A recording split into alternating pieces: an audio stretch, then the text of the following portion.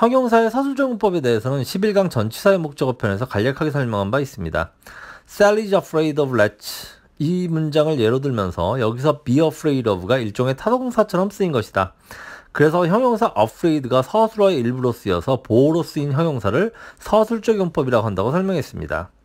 여기 18강 아, 형용사의 개념과 역할편에서 형용사의 보호 기능, 서술적 용법에 대해서 좀 더 자세히 설명하도록 하겠습니다. 한국인들이 동사와 형용사를 혼동하는 경우가 많아요. 이것은 한국어와 영어가 이 두 품사를 사용하는 데 있어서 여러 가지 차이가 있기 때문입니다.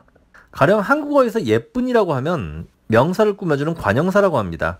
그래서 예쁜 소녀 이렇게 말하죠. 관이란 모자를 말합니다. 그러니까 모자처럼 명사를 이렇게 아, 앞에서 꾸며주는 품사라고 해서 관형사라고 부르는 것입니다. 그런데 그녀는 예쁘다라고 하면은 여기서 예쁘다는 형용사라고 합니다.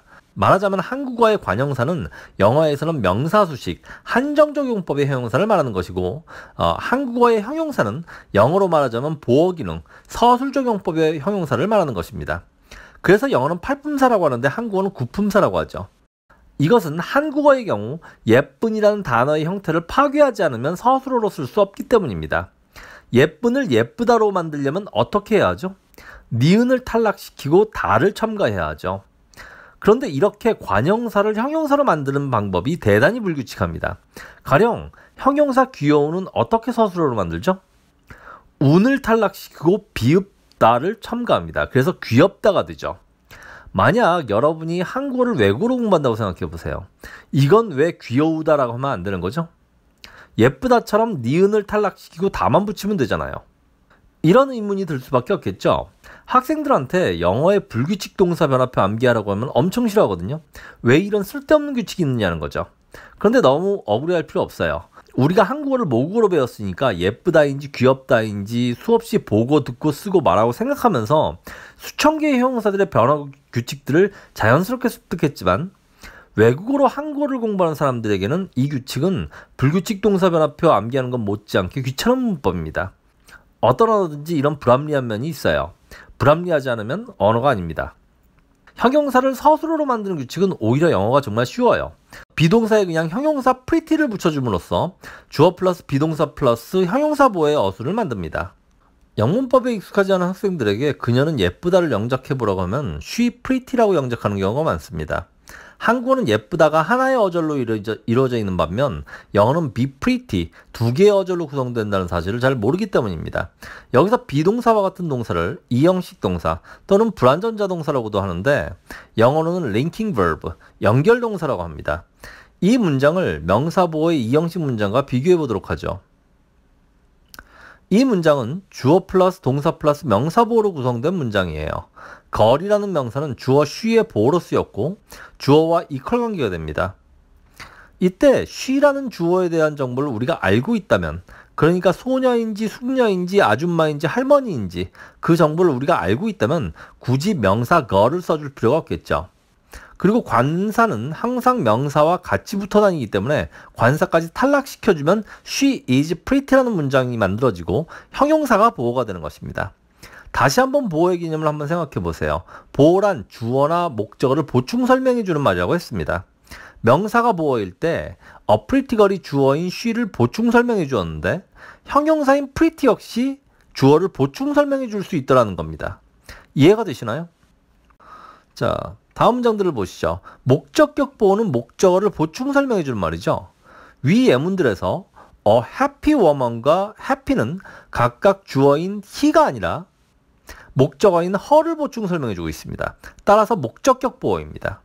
목적격 보호의 자리는 주격 보호와 마찬가지로 명사 또는 형용사가 와야 하는데 영어에서 형용사가 보호로 올 경우 한국어로는 마치 부사가 와야 할 것처럼 생각되는 경우가 많습니다.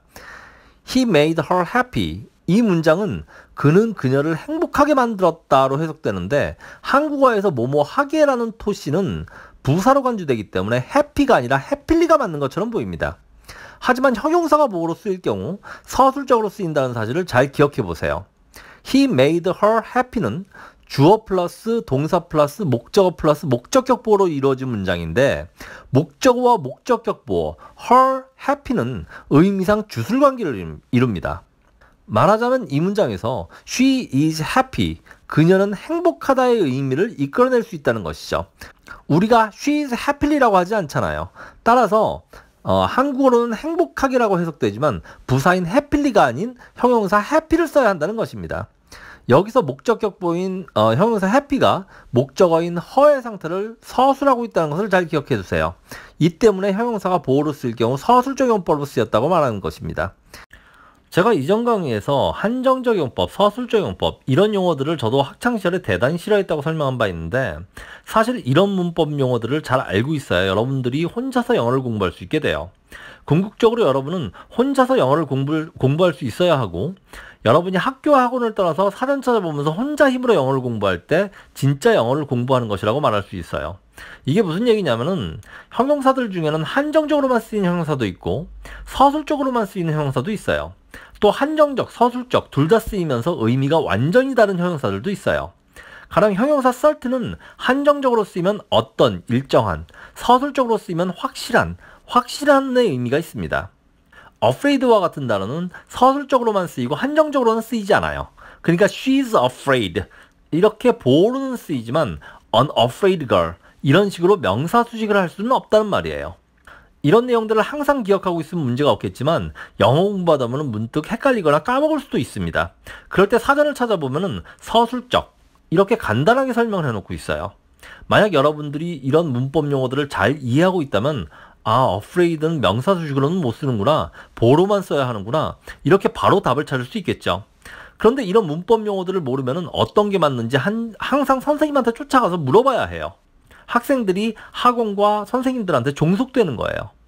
그리고 문법을 제대로 공부해 놓지 않으니까 자기가 독해한 것을 신뢰하지 못해요.